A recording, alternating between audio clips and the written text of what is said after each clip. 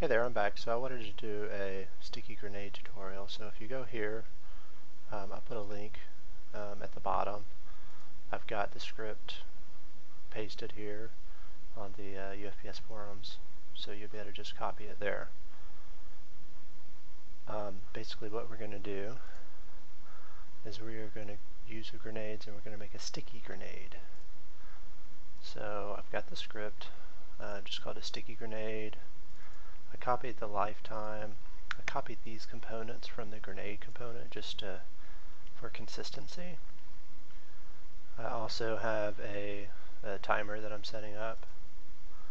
And then I've got a tag to stick to or a layer to stick to. The reason I did it this way is because um, with Shooter AI, you typically use like Team 1 or Team 2 or whatever. But then the layer, what you can do is you can, uh, generally layer isn't used, so I'm using the layer, just called it enemy. And then uh, this is just a private int because layers, when they look up the layer, they look up the actual layer number. But tags, they look up that tag name. So the tag can stray a string, but this way you don't have to look up what layer number you have. And then I've got an explosion prefab, which is private. And then I, I just you just pull this stuff over. Um, if you don't have Okay, so basically copy this. Uh, right here I'm checking to see if the explosion prefab is set up in the damage handler or not. Um, I just copied this over from the other script. And then I've got my on collision enter. I'm just converting that int to, um, I'm converting the layer name to an int so that I can check it here. And I'm getting rid of the rigid body. Um, so basically the first step that you're going to do is you are going to um, grab the grenade, grenade live, so it has this VP, um, it has the VP grenade script, and it has the damage handler. So the damage handler, if you don't have any death spawn objects, basically the grenade's not going to do any damage whatsoever.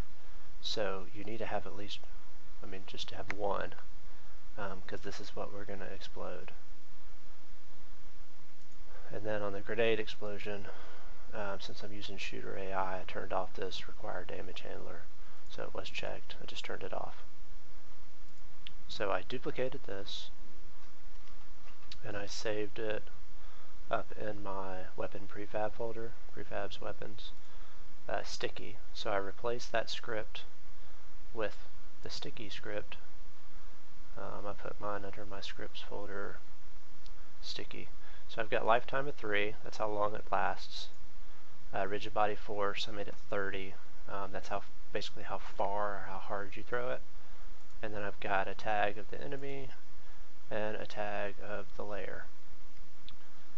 So since I'm using shooter AI right now on the soldier, I left team 1 and I just, I've got the layer right here, enemy.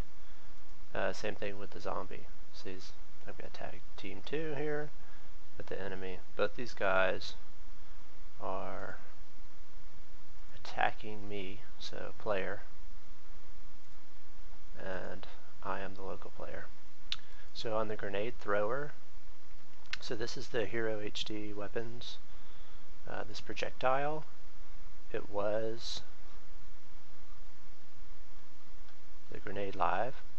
So I just changed this prefab to grenade sticky. I just dragged it in there. And then when I hit play, what'll happen is, whenever I throw a grenade, it is going to,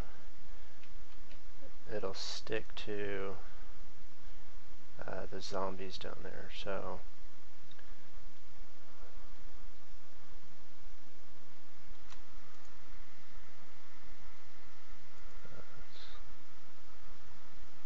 Try to get one where we can see it.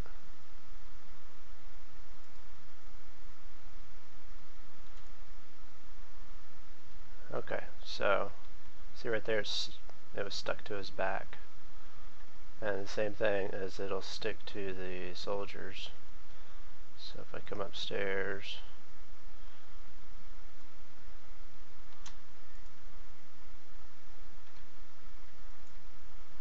okay, so see it's actually stuck to the soldier. So it looks kind of strange, but it's stuck to the soldier. Uh, this is just where it happened to hit him. See, there's the grenade right there. And then after time is up, the grenade's going to explode, and it followed this, it stayed with the soldier. Um, so this way you can have sticky grenades, or you can have regular grenades. I would suggest making, um, I would suggest duplicating this, have one for sticky and one for non-sticky, and you're probably going to want to change um, the weapon model So you're not going to want the grenade to look like this. You might want a different type of grenade um, for the weapon model.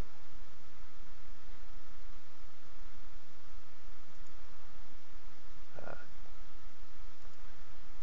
so basically you'll swap this out and probably what you would do is have another grenade and you would add all of these components.